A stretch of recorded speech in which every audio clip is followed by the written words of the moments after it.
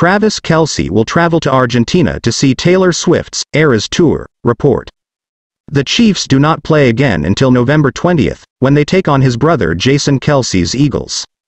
Kansas City Chiefs tight end Travis Kelce is heading out of the country again, and it is not for football this time.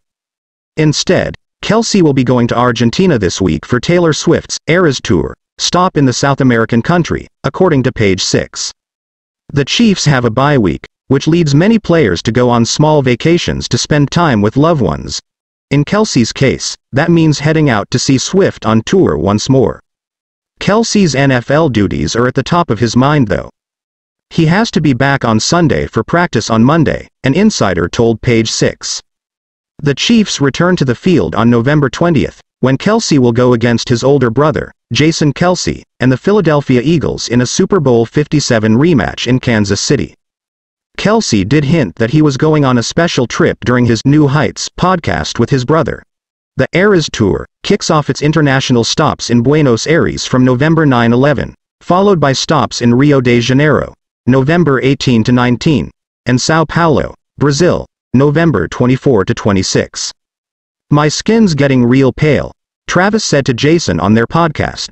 I gotta go somewhere sunny. Somewhere south. Closer to the equator. Swift's International Eras Tour.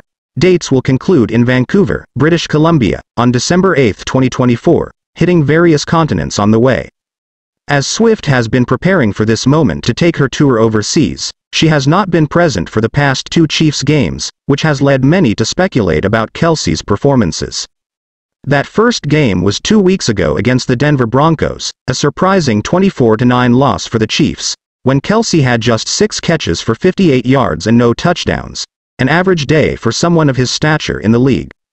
The Chiefs then went to Frankfurt, Germany this past week to face the Miami Dolphins as the NFL continues to expand their exposure overseas.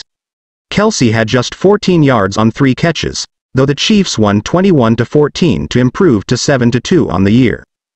These two performances come after Kelce had a season-high 179 yards with a touchdown against the Los Angeles Chargers, where Swift was in person showing off her touchdown handshake with Patrick Mahomes' wife, Brittany Mahomes, in a suite at GEHA Field at Arrowhead Stadium.